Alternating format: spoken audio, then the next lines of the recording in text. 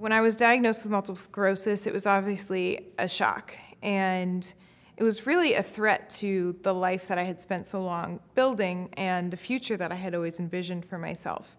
Especially because the first neurologist who I saw said to me that my prognosis was very poor. Um, and he really encouraged me to pick a different career that would be less demanding. And he essentially told me that the type of MS that I have makes me at a high risk of being very disabled down the line. So instead of taking his advice, I decided to take charge and be a part of creating a brighter future for myself, because for me, that wasn't an acceptable scenario.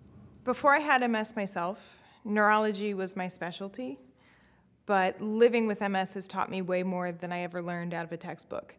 And I realized that clinicians are experts in disease, but patients are also experts. So I think that was very eye-opening to see um, the difference between just knowing how to treat a disease, what medications to prescribe, the ins and outs of what symptoms to look for, what tests to order, uh, to now living with a disease every single day. It was extremely eye-opening, and it really showed me the things that I had never even taken into consideration.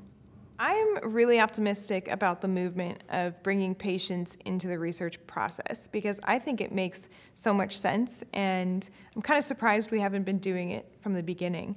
Because I think that when the patients are the ones really identifying what issues matter to them the most, then we are ensuring that we're putting our efforts into the projects that are going to have the most impact on the community. So I'm really optimistic about that trend, and I think it's so important and long overdue.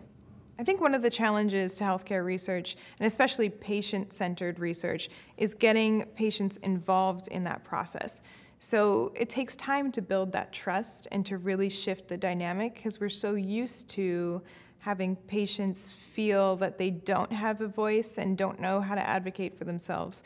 So figuring out how to empower them and really encourage them to take charge and kind of work in the research field to help themselves and help their community is tough.